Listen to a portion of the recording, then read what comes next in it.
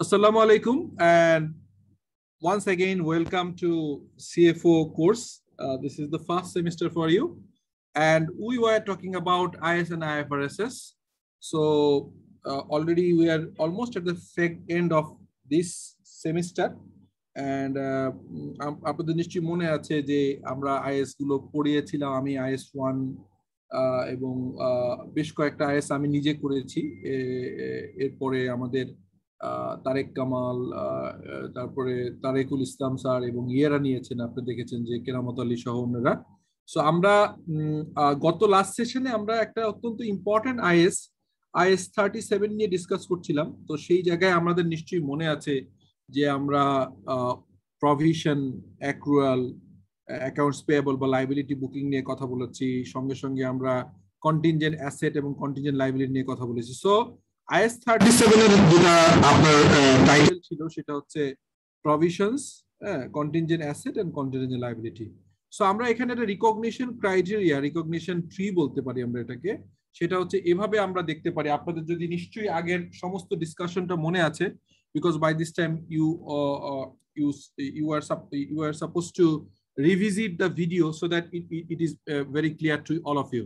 So the starting point is basically you need to ask present obligation as a result of uh, uh, past event. Uh, so past event এর ফলে present কোনো obligation আছে কিনা that is that was the question uh, all for all of us যে আমরা যখন revenue আমরা যখন প্রভিশন করব নাকি লাইবিলিটি বুক করব নাকি এটা আপনার হচ্ছে যে ইয়ে হবে কন্টিনজেন্ট লাইবিলিটি হবে না কি হবে সেই বিষয়গুলো so if the answer of the question that is present obligation আছে কিনা অ্যাজ এ পাস্ট মানে পাস্ট ইভেন্টে তাহলে যদি ইয়েস হয়, তখন আমাকে বুঝতে হবে যে এটা দুইটা জিনিস হতে পারে। একটা হচ্ছে লাইবিলিটি বুকিং হইতে পারে আরেকটা হইতে পারে হচ্ছে যে আপনার প্রভিশন সো প্রভিশন আর লাইবিলিটি বুকিং এর মধ্যে ডিফারেন্স হচ্ছে liability is basic basically arise from the আপনার কোনো পাস্ট ইভেন্ট এবং ইকোনমিক আউটফ্লো হবে এবং সেটা সার্টেন টাইমিং এবং অ্যামাউন্ট সার্টেন তখন হবে হচ্ছে লাইবিলিটি আর প্রভিশন হচ্ছে যখন আপনার অ্যামাউন্ট এবং টাইমিং নিয়ে কোশ্চেন থাকবে আইদার অ্যামাউন্ট একটু কম বেশি হতে পারে, অথবা পেমেন্টের টাইমিংটা you are not so sure তো সেই জায়গায় কোশ্চেনটা হচ্ছে প্রবাবল আউটফ্লো ইয়েস তারপরে রিলায়েবলি এস্টিমেট করা যাবে ইয়েস তখন প্রোভাইড ফর প্রোভাইড ফর মানে you need to account for so আসলে basically if you want to আপনার রেকর্ড অ্যাজ এ লাইবিলিটি হ্যাঁ or provision then you need to ask some question যে এটা আসলে কোনো পাস্ট ইভেন্টের ফলে কোনো প্রেজেন্ট অব্লিগেশন তৈরি হয়েছে কিনা? এবং এই প্রেজেন্ট অব্লিগেশনের ফলে আপনার এন্টিটির কোনো ইকোনমিক ইকোনমিক রিসোর্সেস আউটফ্লো হবে কিনা? তো এটা হচ্ছে প্রথম কোশ্চেন তারপর যদি টাইমিং এবং অ্যামাউন্ট কনফার্ম থাকে তাহলে লাইবিলিটি আর টাইমিং এবং অর এবং অথবা অথবা। হচ্ছে যে কোনো রকম যদি কোনো টাইমিং এবং হচ্ছে অ্যামাউন্ট নিয়ে কনফিউশন থাকে, যে একটু কম বেশি হতে পারে, তখন সেটা আমরা প্রভিশন বুক করি। সো লাস্ট ক্লাসে আমরা লাইবিলিটি এবং প্রভিশন নিয়ে একটা ডিফারেন্স বলছিলাম, যে যেমন আমরা স্যালারি যখন করি স্যালারি যখন মাসের মাসের শেষে এইচআর আমাদের স্যালারি শিট দিয়ে দেয় হয়তো আমাদের প্র্যাকটিস যে আমরা মাসের পরবর্তী মাসের এক তারিখে স্যালারিটা পেমেন্ট করি। সো এই যে থার্টি এইট বা thirty first of the month আমরা যখন অ্যাকাউন্টস ক্লোজ করি, তখন আমরা এটাকে রেকর্ডেড করি যে liability so this is call liability R provision কি? লেটস সে আমি হচ্ছে যে আমার রেন্টাল আমার মাসে পেমেন্ট করব বাট এমন একটা ঘটনা ঘটলো যে আমি বছর শেষ আমার রিনুয়ালটা অটো রিনুয়াল হওয়ার কথা। কিন্তু সাবজেক্ট টু যে আমার হচ্ছে যে ল্যান্ডলর্ডের সাথে আবার নতুন করে বার্গেন করতে হবে, যে ভাড়া কি কারেন্টটাই থাকবে, নাকি কোভিড সিচুয়েশনে আমি একটু বার্গেন করে কমাবো, নাকি তারা কোনো বাড়া, তারা আবার কোনো ইনক্রিমেন্ট নিবে রেন্টে যদি এমন হয় যে আপনার ভাড়াটার ব্যাপারে আপনি কনফার্ম যে দিতেই হবে অ্যামাউন্টটা নিয়ে একটু কোশ্চেন আছে, যেটা কম বেশি হতে পারে। আর একটা হতে পারে হচ্ছে যে, আপনার কবে দিবেন এটা নিয়ে? বিকজ নতুন এখনও ভাড়া আপনি চলতেছেন আপনি ইউজ করছেন you have obligation to pay but amount এবং টাইমিং নিয়ে আনসার্টিনিটি আছে তখন you can make a provision so এটা আমরা ডিসিশনটি দেখলাম if uh, present obligation as a result of uh, uh, past event or obli obligating event it is probable outflow yes reliable estimate yes provide for provide for মানে accounting for করা। এবার আসেন start point present obligation as a result of of an obligating event যদি no হয়, এবার আপনি বলেন যে পসিবলি রিকগনাইজ যদি যে, যদি এমন হয় যে আপনার হচ্ছে যে পসিবল ইভেন্ট যদি নো হয়, তাহলে কিছু করতে হবে না। পসিবল মানে হচ্ছে যে আপনার পসিবলের পার্সেন্টেজ বলে দিই আপনাদেরকে। ফিফটি পার্সেন্টের লেস হলে পসিবল উপরে বলা হয় প্রবাবল হ্যাঁ? আর রিমোট মানে খুবই রিমোট তো রিমোট হলে আসলে বেসিকলি এটার কোনো ডিসক্লোজার দিতে হয় হ্যাঁ? এটা লাগে না। সো এখন আপনারা আমাকে যদি বলেন যে আমি আমি যে ডিসকাশনটা আগের দিনও করলাম, আপনাদেরকে এখানে এই যে একটা এক্সাম্পল দিয়েছিলাম অথবা আপনি এইখানে যে ডেফিনেশনে বলেছিলাম, কি ডেফিনেশনে বলছিলাম? প্রভিশনের ডেফিনেশন বুঝলাম লাইবিলিটির অবজেকশন বুঝলাম অবলিগেটিং ইভেন্টের কথা বলেছিলাম। হ্যাঁ? সো এই জায়গা থেকে আমাকে কেউ একজন একটু ভলান্টারি লেভেলে হেল্প করেন বিকজ ক্লাসটা তো এক সপ্তাহ আগে হয়ে গেছে। সো ও, এরপরে বলেছিলাম লিগ্যাল অবলিগেশন কনস্ট্রাকটিভ অবলিগেশন এগুলো নিয়ে কথা বলা হয়েছিল contingent liability contingent asset so আমি এখন আপনাকে আবার সেই বেসিক কোশ্চেনে ফিরে যাচ্ছি। What is liability what is provision এইটা কেউ কি বলতে পারবেন? আমাকে একটু মানে আপনাদের মতো করে বুঝাই বলতে পারবেন? এনি ওয়ান প্লিজ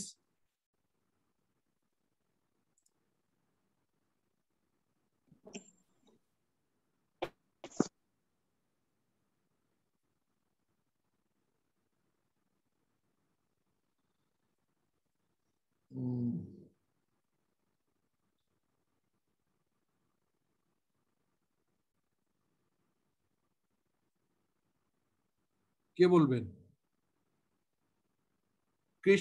ইয়ে রয়, মিস্টার রয় বলবেন নাকি? কৃষ্ণেন্দু রয়? অথবা any one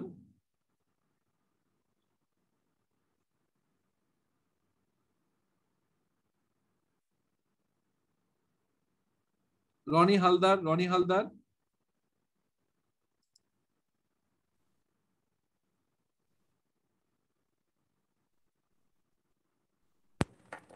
Sir. Hello জি বলেন বলেন প্লিজ জি স্যার। লাইবিলিটি হতে হলে সেটা অবশ্যই পাস্ট ইভেন্ট হতে হবে এবং প্রেজেন্ট অবলিগেশন থাকতে হবে। এটা হচ্ছে প্রথম ক্রাইটেরিয়া এন্ড সেকেন্ড ক্রাইটেরিয়া হচ্ছে সেটা এস্টিমেটেড করা যাবে অর্থাৎ কত অ্যামাউন্ট হতে পারে বা কত দেয়া লাগতে পারে। সেই বিষয়টা জি স্যার সেটা নিশ্চিত হতে হবে। মানে হওয়া যাবে আর কি। আর প্রফেশনের ক্ষেত্রে পাস্ট ইভেন্ট এবং প্রেজেন্ট অবলিগেশন থাকবে। কিন্তু হতে পারে যে অ্যামাউন্টটা কত হবে সেটা হয়তো হান্ড্রেড পার্সেন্ট সার্টেন নাও হইতে পারে। রাইট অথবা কমন সময়টাও একটু কনফার্ম নাই রাইট সো থ্যাংক ইউ আপনাকে অনেক ধন্যবাদ। এখানে দেখেন A liability is a present obligation of an entity arising from past event, the settlement of, of which is expected to result in an outflow from the entity uh, from the uh, from the entity of uh, resourcing embodying economic benefit. তার মানে তার হচ্ছে economic benefit দিতে হবে। So এই জায়গাটার সাথে প্রভিশনের ডিফারেন্সটা হচ্ছে এই অ্যামাউন্ট এবং আউটফ্লো টাইমিংটা যখন আনসার্টেন হয় তখন হচ্ছে আপনার প্রভিশন এই দেখেন প্রভিশনের সঙ্গে আমরা যখন দেখি এই দেখেন। এখানে প্রভিশন কি বলছে? বলা হচ্ছে যে provisions uncertainty about the timing or amount needed needed to settle the obligation as oppose to মানে এখানে তখন হচ্ছে যে আপনার যখনই হচ্ছে টাইমিং এবং টাইমিং এবং অ্যামাউন্ট নিয়ে কোনো কনফার্ম না হবেন তখন এটা হচ্ছে প্রভিশন আর পেয়াবল হচ্ছে যখন আপনি sure where the goods and service have been invoiced or formally norm or, or formally agreed the supplier. আর যখন অ্যাক্রুয়াল হবে হচ্ছে আপনি ডেলিভারি পেয়ে গেছেন। কিন্তু ডেলিভারি চালান ডেলিভারি চালান সহ যে ইনভয়েস পাকা ইনভয়েস পাঠায় নাই সো ওইটার পর্যন্ত এটা একটা টেম্পোরারি অ্যাক্রুয়াল একটা করা হয়, যে আপনি ফ্যাক্টরিতে প্রোডাক্ট পৌঁছে গেছে, আপনি শিওর আপনি রিসিভ করছেন, এটাও শিওর বাট ওই যে আপনার সাপ্লায়ার আপনার ফ্যাক্টরি এন্ডে চালানে আপনার ডেলিভারি চালানে আপনার রিসিভ সাইন নিয়ে বিলটা এখনও আপনার বিল বা ইনভয়েস আপনার হেড অফিসে জমা দেয় নাই। সো এই এই টেম্পোরারি সময়ের জন্য অ্যাক্রুয়াল করা হয়, ঠিক আছে? সো আমরা এগুলো দেখলাম।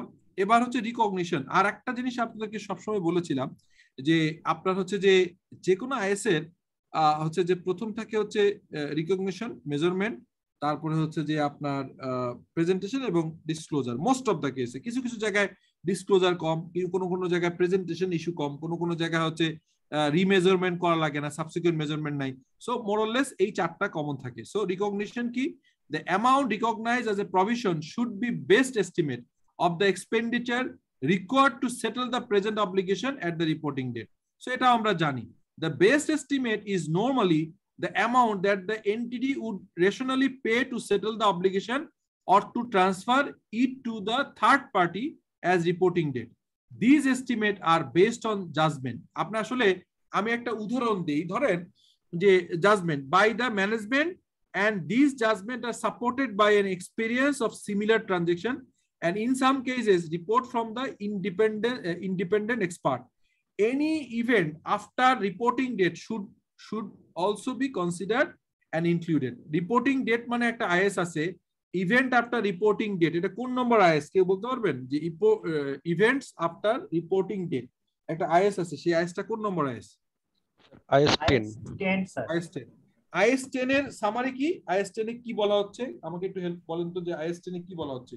What is the content of IS 10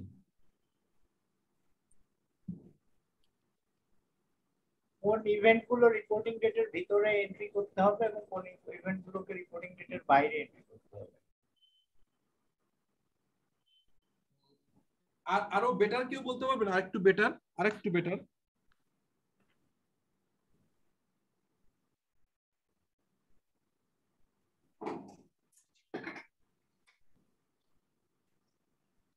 sir financial স্টেটমেন্টে কোন কোন ট্রানজাকশনগুলো রিপোর্টিং ডেটের পরে হবে সেগুলো একটা নির্দিষ্ট করে দেওয়া।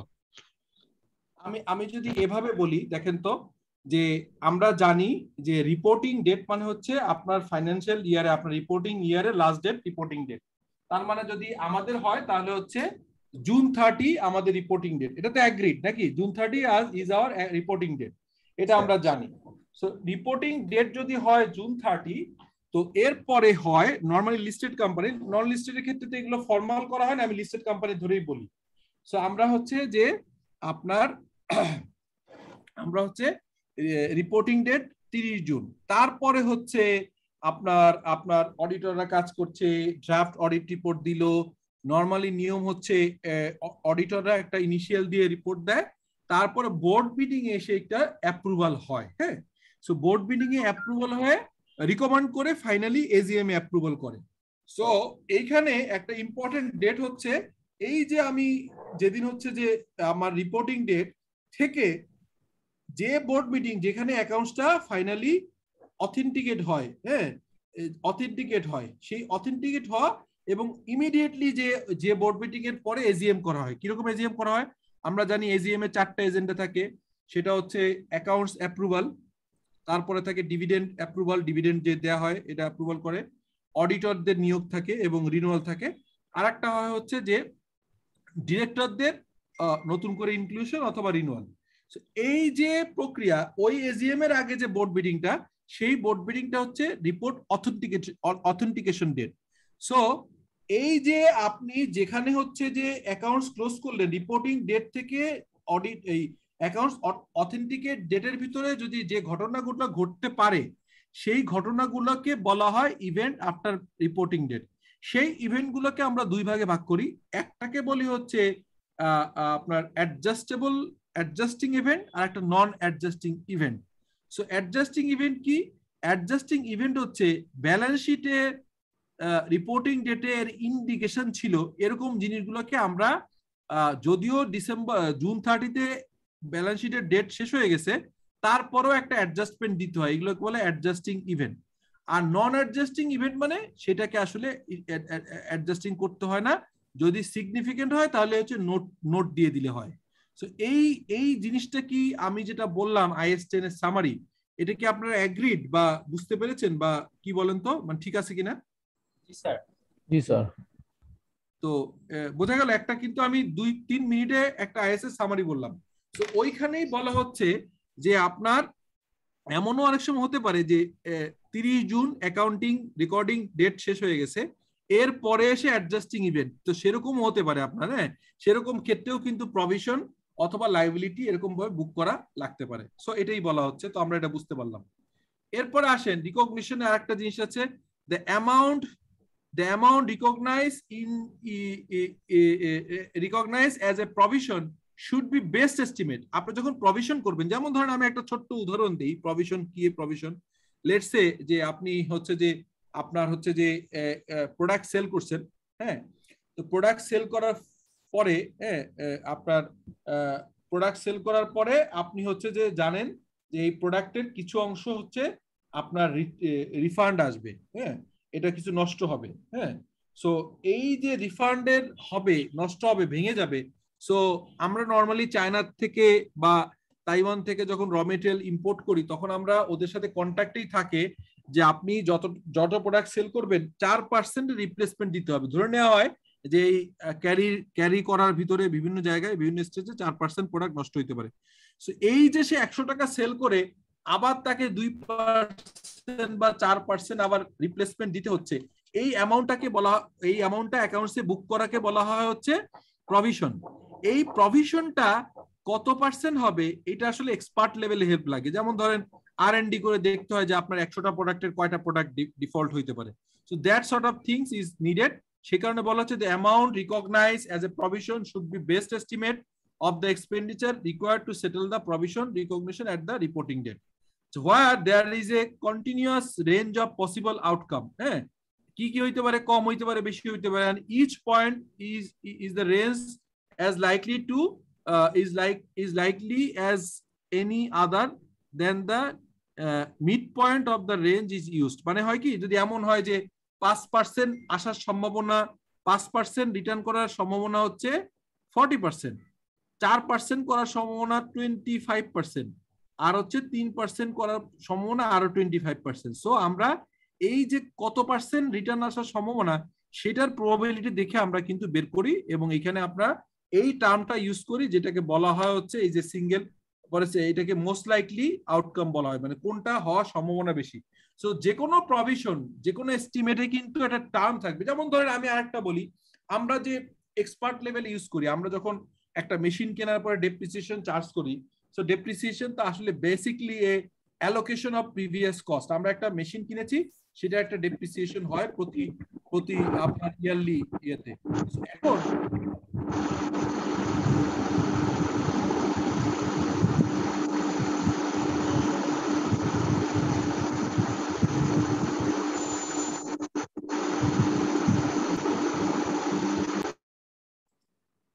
ওকে সো সেটা হচ্ছে যে, এই যে আমি একটা মেশিন কিনে কত বছরের ভিতরে একটা ডেপ্রিসিয়েশন করব, এটাও কিন্তু একটা এক্সপার্টের হেল্প নিতে হয় বিকজ একটা ইঞ্জিনিয়ার বা এই বিষয়ে মেশিন সম্পর্কে জানে ইলেকট্রোমেকানিক ইলেকট্রোমেকানিক্যাল ইঞ্জিনিয়ার অথবা ওই মেশিন সম্পর্কে অভিজ্ঞতা লোকের থেকে আমার জানতে হয় যে একটা মেশিন কিনে কত বছরের ভিতরে ডেপ্রিসিয়েশন হবে। সো এটা আমরা জানি, এটাই এখানে আছে। সো আমরা একটা ছোট্ট ইস্যু দেখতে পারি। আমার মনে হয় যে আমার এখানে এক্সাম্পল আছে। আমরা একটা এক্সাম্পল দেখলে আরও ক্লিয়ার হবে। রিকগনিশনে আমরা জানি এখানে যে প্রভিশন স্পেসিফিক সিচুয়েশনে কি হয়? ফিউচার ওপেনিং লস হয়। এটা আসলে আপনার নো প্রভিশন এটা হচ্ছে ইম্পেয়ারমেন্ট টেস্ট করতে হয়। ভবিষ্যতে যদি কোনো প্রোডাক্ট নষ্ট হবে কি হবে না? আমরা কিন্তু এখানে অনেক সময় কনফিউজ হয়ে যাই। আমরা একটা অ্যাসেট হ্যাঁ অ্যাসেট যখন আমরা টেস্ট করি, তখন আমরা অ্যাসেটকে রিভেলেশন মডেলেও চেক করি যে বেড়েছে কিনা, আবার ইম্পেয়ার টেস্ট করি। ইম্পেয়ারমেন্ট টেস্ট কিন্তু প্রভিশন না। ইম্পেয়ারমেন্ট টেস্ট হচ্ছে ডিফারেন্ট একটা জায়গা যে আমার একটা অ্যাসেট ভ্যালু ইন ইউজ আছে। লেটস আপনার, আমি আগের দিনই, আগের সেশনেই পড়িয়েছিলাম। ভ্যালু ইন ইউজ আছে একশো টাকা, আর হচ্ছে যে ফেয়ার ভ্যালু নব্বই টাকা। তাহলে এই দুটার ভিতরে যেটা ছোট নব্বই টাকা, নব্বই টাকার সাথে আপনাকে দেখতে হবে যে আসলে আলটিমেটলি যে এটার ইয়ে ভ্যালু কত আছে? আপনার এখানে হচ্ছে যে আপনার বুক ভ্যালু কত? বুক ভ্যালু যদি একশো টাকা একশো দশ টাকা থাকে আর আপনি যদি ভ্যালু ইন ইউজ এবং ইয়ের থেকে নব্বই টাকা পান, তাহলে এই বিশ টাকা আপনার হচ্ছে লস চার্জ করতে হবে। এটাকে বলে impairment test impairment loss impairment loss separate এটা প্রভিশনের সাথে সম্পৃক্ত নয় এটা বলে দিলাম। এরপরে অনারাস কন্ট্রাক্ট সম্পর্কে বলেছিলাম আগের দিনে যে অনার্স কন্ট্রাক্ট আর একটা ইন্টারেস্টিং পার্ট সেটা হচ্ছে এমন সময় আমরা এমন এগ্রিমেন্ট করি অনেক সময় যে এগ্রিমেন্টে না করলে আমার পেনাল্টি থাকে। যেমন আমি আর বলি এই যে আপনার আর বি গভর্নমেন্টের বিভিন্ন টেন্ডার হয় এই টেন্ডারে আপনি নিশ্চয়ই জানেন যে যখন আপনার টেন্ডার সাবমিট করেন তখন একটা সিকিউরিটি দিতে হয়। এই সিকিউরিটিকে বিট সিকিউরিটি বলে বিট হ্যাঁ, বন্ড বলে। এটা কি কেউ জানেন? বিট বন্ড হোয়াট ইজ মানে ইয়ে গ্যারান্টি আপনার ইয়ে কি? এই যে এই এই ধরনের ব্যাংক গ্যারান্টি কেন দেওয়া হয়? বিট সিকিউরিটি এর মানে কি? কোনো আইডিয়া আছে? কারোর কোনো অভিজ্ঞতা আছে এই বিষয়ে প্লিজ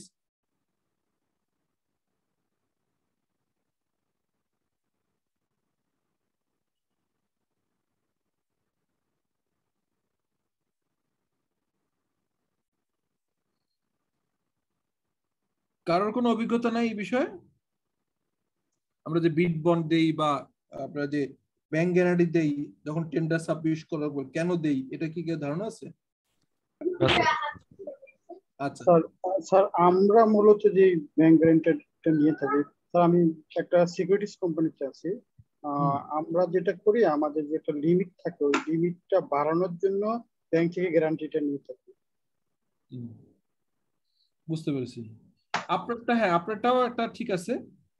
ওইটা ঠিক আছে। আমি যেটা বলতে চাচ্ছিলাম সেটা এই এক্সাম্পলটা দিয়ে কাভার করব না আমি একটা উদাহরণ দিই। লেটসে আপনার হচ্ছে আর আপনার টেন্ডার করল, ঠিক আছে? তো টেন্ডার করার ফলে ফলে টেন্ডার করার ফলে কি হলো? যে টেন্ডারে যারা পার্টিসিপেট করেছে, তাদের ভিতর থেকে আপনার অনেক যাচাই বাছাই করে টেন্ডার করতে গেলে অনেক খরচ হয়। টেন্ডারে পত্রিকায় দিতে অনেক খরচ। খরচ টরচ করে তিনজন থেকে শর্টলিস্টেড করে L one L two L three L one মানে হচ্ছে lowest one lowest two lowest three ঠিক করা হলো। এখন আপনি কাগজপত্র দিয়ে কাজ উইন করলেন, পরে কাজ করবেন না, এইটা কোনোদিনই কোনো গভর্নমেন্ট অথরিটি বা টেন্ডারিং অথরিটি কখনোই অ্যালাউ করবে না। এই কারণে বলা হয়, আপনি কাজ করবেন কি করবেন না, এটা পরের ইস্যু আপনি যে ভ্যালুতে কোট করবেন, তার পাঁচ পার্সেন্ট আপনি ব্যাংক গ্যারান্টি দেন। যদি আমরা আপনাকে সিলেক্ট করি আর আপনি যদি কাজ না করেন তাহলে এই পাঁচ পার্সেন্ট আমি কেটে নিব। পয়েন্টটা বুঝতে পারলেন? আমি কি বললাম? কেউ বুঝতে পারছেন? কি কি বলার চেষ্টা করছি? জি স্যার জি বুঝতে পেরেছি স্যার কি। বলেছি? বলেন তো একটু কাইন্ডলি আবার একটু। এটা হলো স্যার গভর্নমেন্ট যে টেন্ডার টেন্ডারগুলো হয় টেন্ডারে যখন ড্রপ করা হয় সেখান থেকে হ্যাঁ। আমি যখন আমি সিলেক্ট হব সিলেক্ট হবে ব্যাংক আমার আমি যে কাজটা করব এটা সিকিউরিটি পাওয়ার জন্য গভর্নমেন্ট যেই রেটে আমি টেন্ডার অফারটা অ্যাকসেপ্ট করছি ওই রেট থেকে একটা পার্সেন্টেজ মানে সিকিউরিটি হিসাবে ওই অথরিটিকে দিতে হবে। রাখতে হবে যদি আমি কাজ করি তাহলে ওই ওটা ফেরত পাবো। কাজ না হ্যাঁ। করলে ওটা পেনাল্টি হিসাবে দিতে হবে ইয়েস ইয়েস এই যে একটা কন্ট্রাক্টে গেছেন এই কন্ট্রাক্টের নামই হচ্ছে অনার্স কন্ট্রাক্ট মানে আপনি যদি কন্ট্রাক্টটাকে এক্সিকিউট না করেন তাহলে আপনাকে ইয়ে পেনাল্টি দিতে হবে। সো অনেক সময় আমরা দেখি পেনাল্টি ভালো নাকি কাজ করে লস করা ভালো? যদি একটা কাজ আপনি পেয়ে গেছেন, কিন্তু এমন কোট করছেন কোট করে এখন দেখতেছেন যে র মেটেরিয়ালের দাম বেড়ে গেছে। চায়নার থেকে যে প্রোডাক্টের উপর করছিলেন, চায়নার সঙ্গে আপনার কারেন্সি কনভার্সন অথবা র মেটেরিয়ালের দাম বেড়ে গেছে অথবা ডলারের ভ্যালুর সাথে বাংলাদেশের বিডিটির ভ্যালুর ফ্ল্যাকচুয়েশনের কারণে বিভিন্ন কারণেই এলএমই মার্কেটের কারণে বিভিন্ন কারণেই আপনার হচ্ছে, আপনি আশা করছিলেন যে এই কন্ট্রাক্টটা আপনি একশো কোটি টাকা উইন করলে পাঁচ কোটি টাকা লাভ করবেন। পরে দেখা গেল যে একশো কোটি টাকা করে উল্টা আরও দুই কোটি টাকা লস হচ্ছে। তখন আপনি হিসাব করবেন যে এই কন্ট্রাক্ট এক্সিকিউশন করে লস কয় টাকা আর পেনাল্টি কয় টাকা? যদি পেনাল্টি হয় পাঁচ কোটি টাকা আর যদি দেখেন যে কাজ করার পর লস হয় দুই কোটি টাকা, তাহলে কাজটা করাই ভালো, ঠিক আছে? এই অংশটাকে হচ্ছে প্রভিশন করতে হয়। এই এক্সাম্পলটা সবাই বুঝলেন কিনা? আমি একটু আগে যেটা বললাম। যে আমি একটা কাজ করলেও লস হয় না করলেও লস হয়। না করলে আমার কন্ট্রাক্টের জন্য আমার bank guarantee for bank guarantee আপনার এনক্যাশ করে ফেলে আমার টেন্ডারিং অথরিটি ধরেন আমি একটা টেন্ডারে সাবমিট করছি, একশো কোটি টাকার টেন্ডার আমি ভাবছিলাম যে এখান থেকে পাঁচ কোটি টাকা প্রফিট করব। উল্টা দেখা গেছে যে কোনো কারণে র মেটেরিয়ালের দাম বেড়েছে, বিভিন্ন ধরনের কারণে আপনার একশো কোটি টাকার কাজ করলে দুই কোটি টাকা লস হয়। আর একশো কোটি টাকার কাজ আপনি পেয়ে আপনাকে অ্যাওয়ার্ডেড করা হয়েছে নোটিফিকেশন অফ অ্যাওয়ার্ড দেওয়া হয়েছে, অথবা you are selected as L one so আপনি এটা করেছেন, কিন্তু আপনি এটা করে আপনি কাজটা এখন নিবেন না। তাহলে আপনার যে একশো কোটি টাকার টেন্ডারের কোটেশন এগেনস্টে পাঁচ পার্সেন্ট অর্থাৎ পাঁচ কোটি টাকার ব্যাংক গ্যারান্টি দেওয়া আছে। তখন আপনি যদি কাজ না করেন, তাহলে ওই টেন্ডারিং অথরিটি লেটসে আর বি ডিপিডিসি যে কোনো একটা, তারা এই এই ব্যাংক গ্যারান্টিটা ব্যাংকে পাঠিয়ে দিবে ফর এনক্যাশমেন্ট এবং ব্যাংক আপনার অ্যাকাউন্ট থেকে পাঁচ কোটি টাকা কেটে ওই টেন্ডারিং অথরিটি অ্যাকাউন্টে দিয়ে দিবে। সো এইটা বলা হচ্ছে পেনাল্টি সো অনেক সময় আমাদের দেখতে হয় পেনাল্টি পেনাল্টিটা বেশি অ্যামাউন্ট লস হয়, নাকি কন্ট্যাক্ট আপনার ফুলফিল করলে নেট লস হয় কত? সো যেটা কম সেটাই হচ্ছে প্রভিশন হিসেবে বুক করতে হবে। এরপরে হচ্ছে restructuring programme planned and control by management that change scope of manner of business এর সময় যেটা হয়, আমরা যে হচ্ছে যে রিস্ট্রাকচারিং করতে হয়, আমরা যে প্রোগ্রামটা শিডিউলটা দিই, এটা রিস্ট্রাকচারিং করতে হয়। এটা করতে গেলেও অনেক সময় আমাদের প্রভিশন রাখার প্রয়োজন হয়। সো যাই হোক এটা আমরা দেখলাম। এখন একটা এক্সাম্পল এই এক্সাম্পলটা আপনারা আমাকে করে দিবেন। আপনাদের সময় হচ্ছে মাত্র পাঁচ মিনিট। আমি একটু পড়ে দিচ্ছি। The Best Electronic sell good when sorry Best Electronic sell goods which carry a one year repair warranty if minor repairs uh, were to be required for all goods sold in two thousand হ্যাঁ the cost would be BDT one lakh taka হ্যাঁ the major repairs were to be needed all goods sold in two thousand the cost is পাঁচ lakh taka. The Best Electronics estimate eighty percent of the goods sold in two thousand will have no defect কোনো আর fifteen percent হচ্ছে minor এবং five percent major so জিনিসটা আপনাদেরকে আবারও বুঝে দিই, কিছু প্রোডাক্ট সেল করা হয়েছে যে প্রোডাক্টের এগেনস্টে এইটটি ফাইভ এইটটি পার্সেন্টে কোনো কমপ্লেন আসবে না। টোয়েন্টি পার্সেন্ট আসবে কিন্তু টোয়েন্টি পার্সেন্টের ফিফটিন পার্সেন্ট মাইনর রিপেয়ার লাগবে। আর মাইনর রিপেয়ারের জন্য খরচ হয় এক লাখ টাকা। আর মেজর রিপেয়ার প্রয়োজন হবে প্রায় পাঁচ পার্সেন্ট এটা একটা এস্টিমেশন সেই পাঁচ পার্সেন্টের জন্য খরচ হচ্ছে প্রতি ইয়ার পাঁচ লাখ টাকা। এখন আপনাকে বলা হয়েছে required calculate the provision of repair required at December 31st, 2000.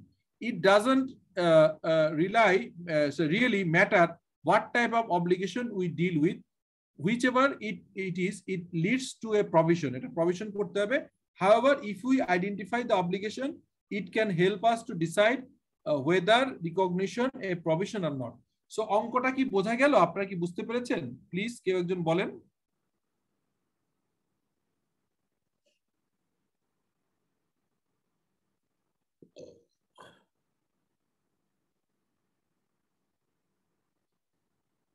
আমি জাস্ট আপনাদেরকে এটার জন্য তিন মিনিট সময় দিব। তিন মিনিটের ভিতরে আপনার এটা পারা উচিত, সহজ একটা বিষয়। তিন মিনিট পরে আমি আপনাদের জিজ্ঞেস করব যে কি বুঝলেন। থ্রি মিনিটস টাইম এটা একটু দেখে চিন্তা করেন অঙ্কটা কি হবে। এটা একটা আপনাকে calculate the provision of repair required at December thirty first two thousand এই এই প্রভিশনটা কত হবে এটা বের করতে বলেছে। আপনার এখন বাজে হচ্ছে আপনার টাইম অনুযায়ী আটটা পঁয়তাল্লিশ, আটটা আটচল্লিশে আমি হচ্ছে আপনাদেরকে জিজ্ঞেস করব প্লিজ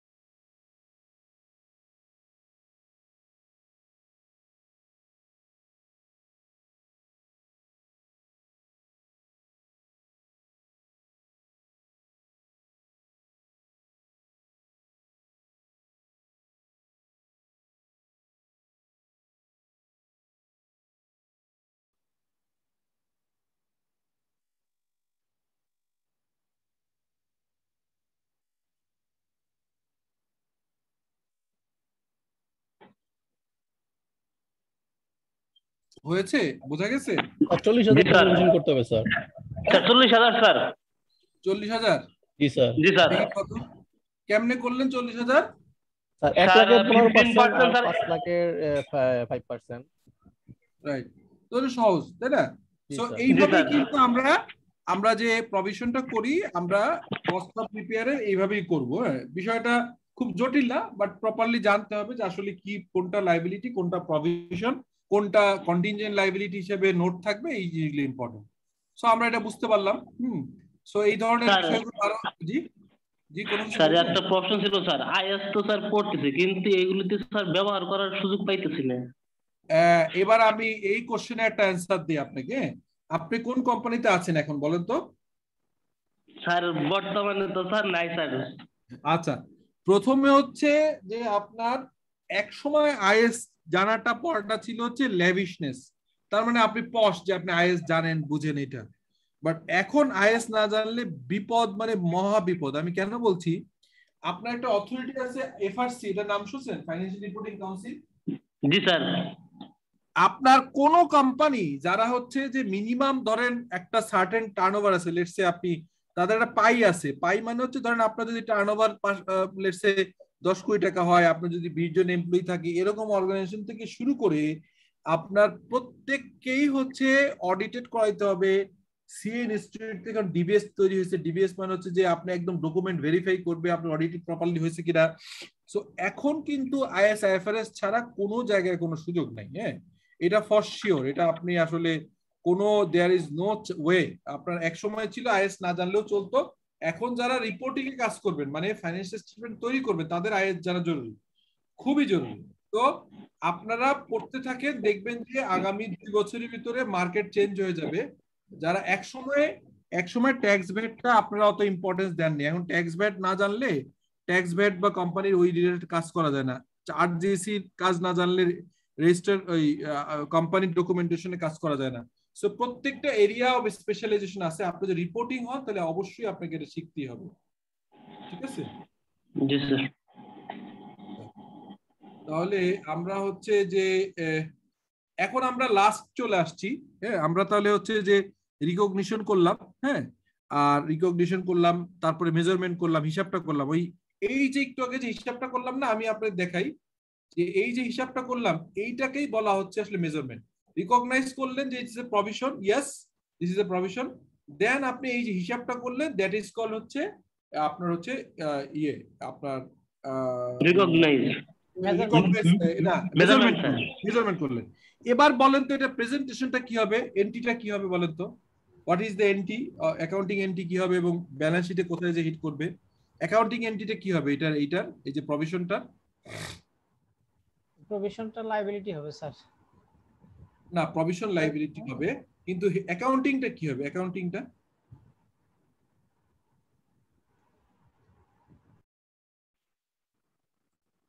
অ্যাকাউন্টিংটা কি হবে একটু বলতে পারবেন না? কষ্ট করে। রিপার মেনটেন্স ডেবিট হবে আর প্রভিশনটা ক্রেডিট হবে। আচ্ছা। কি বলছেন আপনি? এক সেকেন্ড আমি আপনারটাই লিখি। কি বলছেন ভাই? রাসেল সিদ্দিক।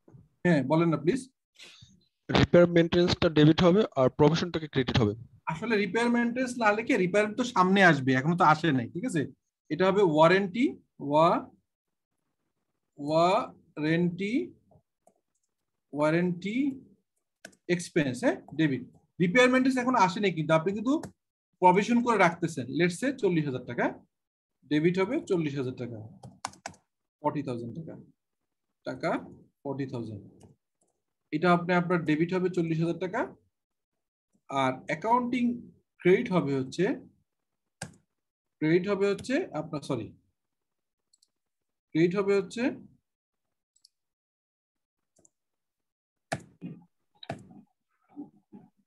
ক্রেডিট হবে হচ্ছে আপনার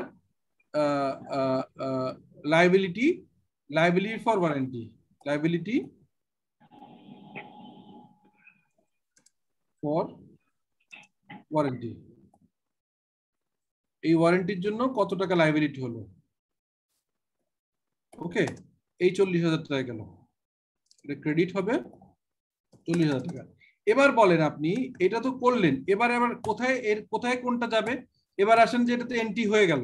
এখন এটার ইম্প্যাক্ট প্রেজেন্টেশনে যে কোথায় পড়বে, কোথায় কোথায় প্রেজেন্ট করবে এটা বলেন।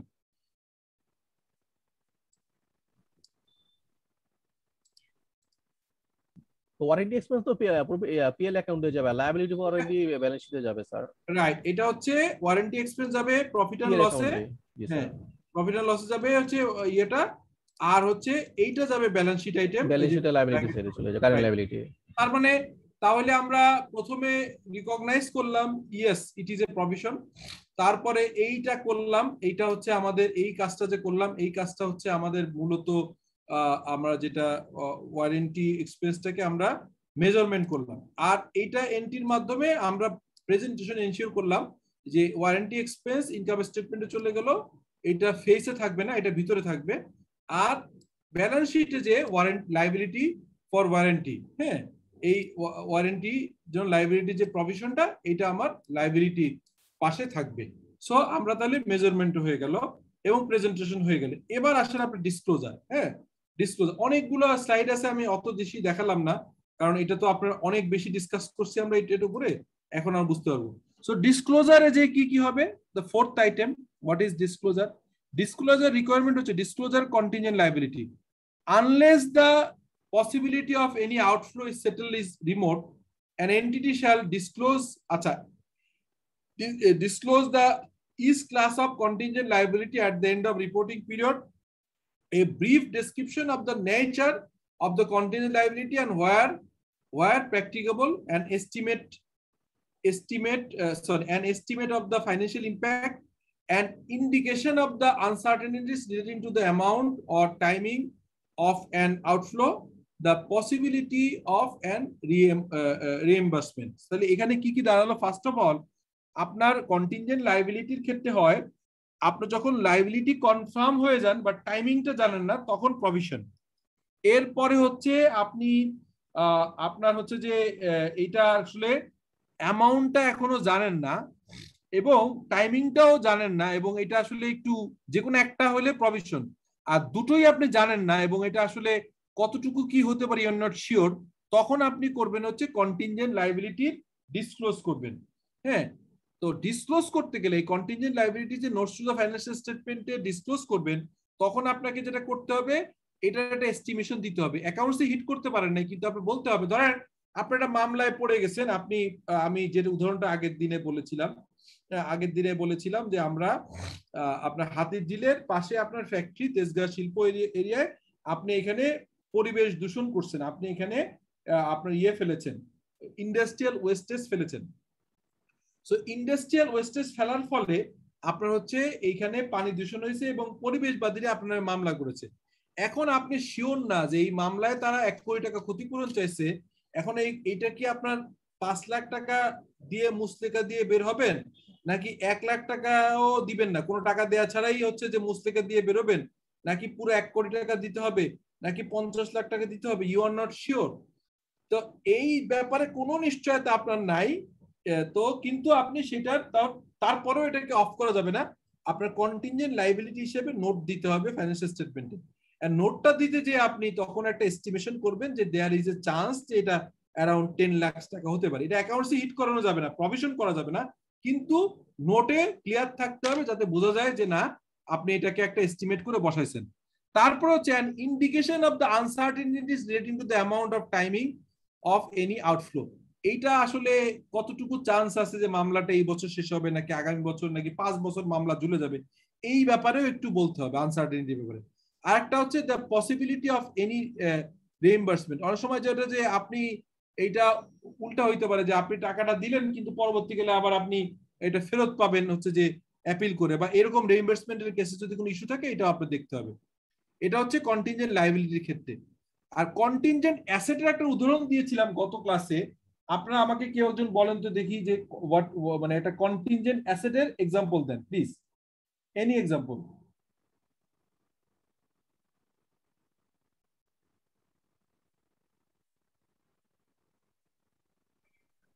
sir ট্যাক্সের স্যার জি?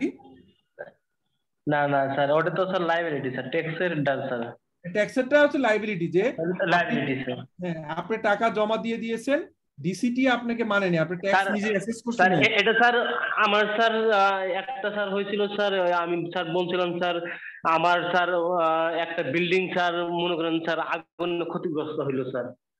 কিন্তু একটা ইন্স্যুরেন্স কোম্পানি আমাকে চার লাখ টাকা দিল কিন্তু আমি স্যার খুশি না আমি আর ওর এগেনস্টে মামলা করলাম।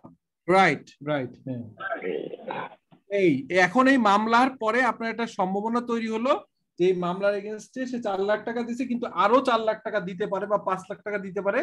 এই যে পসিবিলিটি আছে টাকাটা আসার so this is your asset cash এই অ্যাসেটটাকেই বলা হয় হচ্ছে কন্টিনজেন্ট অ্যাসেট সো কন্টিনজেন্ট অ্যাসেটের ক্ষেত্রেও কিন্তু ডিসক্লোজার দিতে হবে। কি disclosure where an inflow of an economic benefit is probable এই, এইটা আপনি যে ইকোনমিক বেনিফিট যে আপনার কাছে আসবে, আপনি ইকোনমিক ইনফ্লো মানে আপনার দিকে টাকা আসবে, আপনি টাকা পাবেন।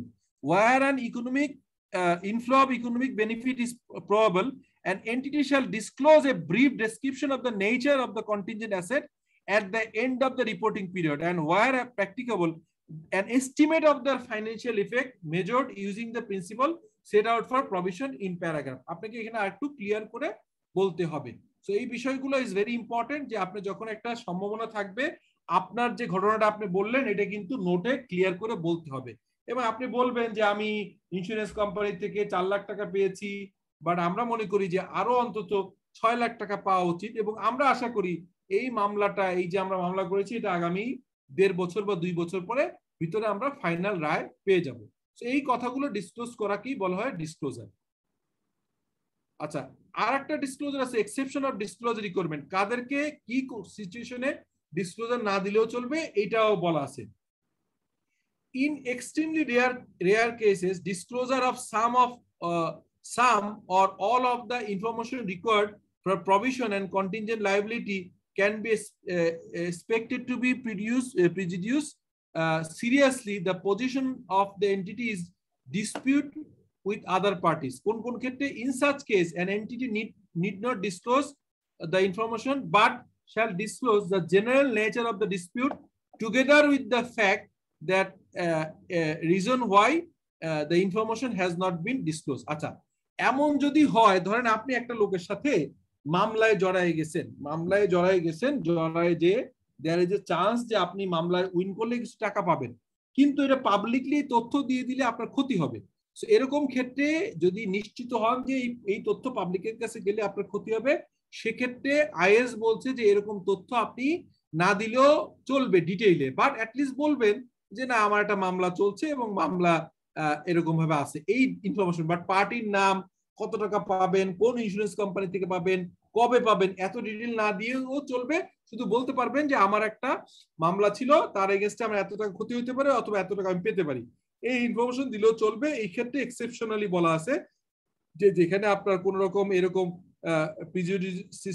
তৈরি হয়, যেখানে আপনি হচ্ছে যে এই ডিসপিউটটা আদার পার্টির কাছে গেলে বা থার্ড পার্টি বা সবার কাছে ওপেন হলে আপনার জন্য বিজনেসের সিক্রেসি নষ্ট হবে।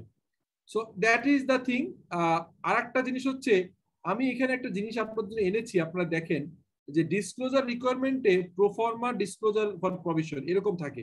সেটা হচ্ছে, একটা হচ্ছে warranty provision gratuity gratuity provision voluntary separation scheme এরকম ভাবে থাকে, বুঝছেন? যে আসলে আপনার হচ্ছে যে ক্যারিং অ্যামাউন্ট বিগিনিং পিরিয়ডে ওয়ারেন্টি প্রভিশন কত ছিল? এডিশনাল প্রভিশন এই পিরিয়ডে কত করেছেন? Amount is during the period কোন এই এই পিরিয়ডে ওয়ারেন্টির এগেনস্টে কত টাকা অলরেডি পেমেন্ট করে ফেলছেন? Unused amount revise during the period unused কি করা হয়েছে?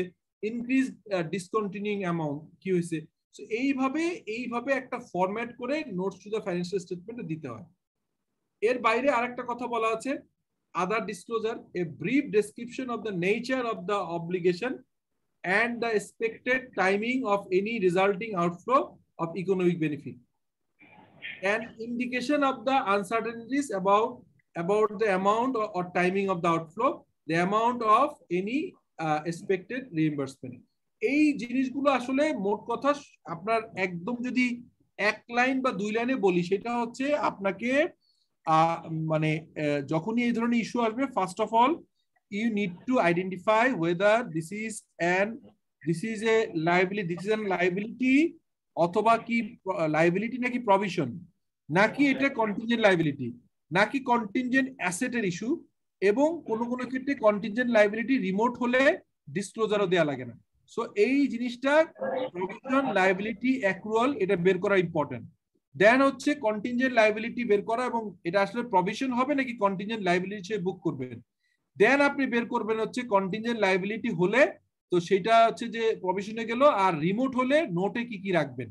আর থাকবে কন্টিনজেন্ট অ্যাসেট আছে কিনা? যদিও খুব রেয়ার কেসে আপনার অ্যাসেট কোনো আছে কিনা প্রবাবল অ্যাসেট হওয়ার সম্ভাবনা আছে কিনা, আপনি কোনো মামলায় জিতবেন, কোনো কম্পেনসেশন পাবেন, এই ধরনের বিষয়গুলো হ্যাঁ? So that is a contingent asset আমি প্লিজ স্যার এই জায়গায় স্যার ভলান্টারি সেপারেশন স্কিমটা স্যার কি স্যার আচ্ছা আচ্ছা আচ্ছা আচ্ছা। এইটা আসলে হ্যাঁ ভালো বলছেন। আমি বলি সেটা হচ্ছে আমাদের হ্যাঁ আমাদের হচ্ছে অর্গানাইজেশনগুলো এইচআর পলিসিতে দেখা যায় যে আপনার হচ্ছে যে আপনার আমরা ইয়ে থাকি মনে করেন যে লেটসে যে প্রভিডেন্ট ফান্ড থাকে। প্রভিডেন্ট ফান্ড থাকে, তারপরে বিভিন্ন রকম স্কিম থাকে অপশন থাকে হ্যাঁ যে আমি এত বছর থাকলে এত টাকা পাবো বা এত বছর হয়ে গেলে আপনি এতটা প্রফিট পাবেন অনেক সময় যেটা হয় যে এই যে আপনি একটা স্কিম নিয়ে, আপনার একটা স্কিমের আন্ডারে হচ্ছে যে এতজন লোক ছিল, তার ভিতরে কিন্তু দেখা গেল যে ওই স্কিমের ভিতরে পাঁচজন টেকে নাই। বা, ধরেন আপনি একটা সিম্পল উদাহরণ দেই, আপনি টপ ম্যানেজমেন্টের সাথে ওনাররা একটা এগ্রিমেন্ট করল যে আমার এই টপ ম্যানেজমেন্টের লোকজন চলে গেলে বিজনেসের ক্ষতি হয় তাদেরকে বলা হচ্ছে, তুমি যদি ভাই আগামী দশ বছর আমার সাথে থাকো, তাহলে আমার কোম্পানির প্রত্যেককে আমি point point zero five percent হচ্ছে আপনার মানে হাফ পার্সেন্ট শেয়ার তোমাদেরকে দিব। সো এই হাফ পার্সেন্ট শেয়ার যে দিবে লিস্টেড কোম্পানি তো মার্কেট দিয়ে কিনে দিতে হবে। সো এই কারণে তাদের প্রভিশন রাখতে হয়। কিন্তু দেখা গেল যে দশ বছর না, পাঁচ বছরের মাথায় তার অর্ধেক লোক সেপারেশন করে ফেলছে। তখন কিন্তু ওইটা আর প্রভিশন করতে হয় না অ্যাডজাস্টমেন্ট হয়। So this is one kind of voluntary separation মানে যখন এখানে চলে যায়, অথবা কোনো এগ্রিমেন্টের ভিতরেও থাকলেন আপনি একটা বিজনেস টার্ন ওভার থেকেও সেপারেশন হতে পারে। সো এটা জাস্ট একটা ওভারঅল পিকচার দেখানো হয়েছে, এটা সবকিছু থাকবে না। ওয়ারেন্টি প্রভিশন অনেক কোম্পানি থাকবে না। গ্র্যাচুইটি যে ফান্ড থাকে, অনেক কোম্পানি গ্র্যাচুইটি ফান্ড নাই। হ্যাঁ আর ভলেন্টারি সেপারেশন তো আরও অ্যাডভান্স লেভেলের এমপ্লয়ি বেনিফিট থেকে আসে, অথবা এগ্রিমেন্ট থেকে আসে। সো এইগুলো মোটামুটি আইএস এর ফরম্যাটে এগুলো অনেক রোবাস্ট করা আছে আইএসগুলো মাল্টিন্যাশনাল কোম্পানির জন্য মোর লাইকলি বেশি ইয়ে আমাদের লোকাল কোম্পানিগুলোতে আমাদেরকে আসলে মূলত জানা দরকার যে, আসলে আমরা কি লাইবিলিটি বুক করব নাকি প্রভিশন করব? নাকি আমাদের কিছু অ্যাক্রুয়াল আছে? এই অ্যাক্রুয়াল প্র্যাকটিসটা অনেকে করে না, এই প্র্যাকটিসটা আপনারা শুরু করতে পারেন। এই তিনটা খুব জানা জরুরি। এর বাইরে আমার কন্টিনজেন্ট কোনো লাইবিলিটির জন্য প্রভিশন ক্রিয়েট করতে হবে কিনা, এটা একটা জানা দরকার। আর না হলে সেই কন্টিনজেন্ট লাইবিলিটির নোট দিতে হবে কিনা। আর অনেক ক্ষেত্রে আপনার কোনো কন্টিনজেন্ট অ্যাসেট আছে কিনা? কন্টিনজেন্ট অ্যাসেট থাকলে ফাইন্যান্সিয়াল স্টেটমেন্ট মানে ব্যালেন্স শিটে আসবে না। কিন্তু নোটে বলতে হবে there is a there is a scope that আমাদের এই অ্যাসেটটা আমরা সামনে আসবে অথবা আমরা এই মামলাটা উইন করতে পারি। উইন করলে এত টাকা আমাদের বেনিফিট হবে অথবা আমরা এইটা, এই এই এই এই কন্ডিশন আমরা ইন্স্যুরেন্সের কাছ থেকে এই ক্লেমটা দাবি করছিলাম, তারা পুরো টাকা দেয় নাই। বাট আমরা যদি মামলা করেছি এবং এত টাকা পেতে পারি। আরও আছে। আপনার ধরেন আমি একসময় সুপারস্টার গ্রুপের রিনিউয়েবল এনার্জি একটা কোম্পানি ছিল। সো দেখা যেত যে গ্লোবালি এটা কার্বন ইমিশন বলে। মানে আপনি যত বেশি সোলার এবং রিনিউয়েবল এনার্জি ইউজ করবেন, তত বেশি কিন্তু আপনি এই যে আমরা যে ইলেকট্রিসিটি ইউজ করি এটা আইদার হচ্ছে যে আপনার তেল, জীবাশ্ম যে আছে মানে গাছ পুরানো তেল থেকে ইউজ হয়, অথবা তৈরি হয়, অথবা আপনার কোন না কোনো ফর্মে আপনার হচ্ছে এই ইলেকট্রিসিটি তৈরি হয়। বাট রিনিউবল এনার্জি বা অল্টারনেটিভ এনার্জি হচ্ছে উইন্ড উইন্ড মিলের মাধ্যমে পাওয়ার জেনারেট করা হয়, অথবা রিনিউয়েবল এনার্জি মানে সূর্য থেকে তাপের মাধ্যমে করা হয়। সো এই ধরনের যত এনার্জি আপনি তৈরি করবেন, আপনার গ্লোবালি কম্পেনসেশন পাওয়া যায়। সো ওই সময়ও কিন্তু আমরা কন্টিনজেন্ট অ্যাসেট মানে পাবো কি পাবো না নিশ্চিত না বাট পাওয়ার সম্ভাবনা আছে।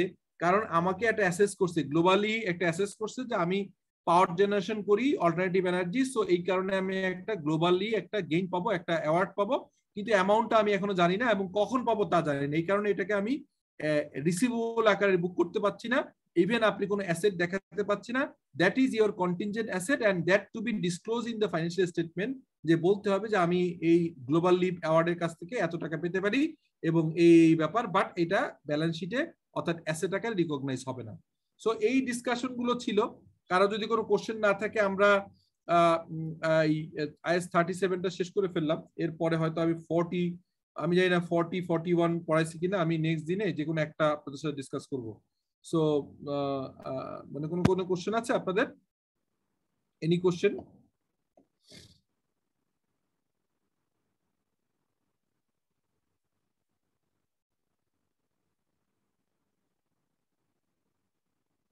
যদি কোশ্চেন না থাকে আজকের মতো শেষ করি হ্যাঁ?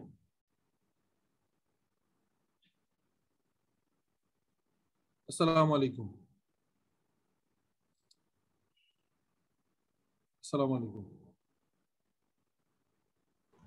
আসসালামু থ্যাংক ইউ আলাইকুম স্যার আসসালামু আলাইকুম স্যার